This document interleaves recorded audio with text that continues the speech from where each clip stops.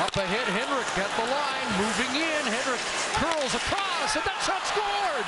Alex Burrows from Henrik Sedin, and Vancouver's on the board. Chris, you mentioned how much Vancouver's been on their heels in the last couple of minutes of this period. This play starts at the at the offensive shark blue line. Watch the look and play that Daniel Sedin makes as he gets it across the ice to his brother. He's in a puck battle here. He wins it and then goes across the ice 80 feet to Henrik. Henrik will pull up and Burrows comes in late.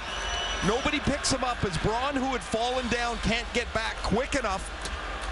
And Burrows one times it. This is a tough one-timer for Alex Burrows, his first of the series.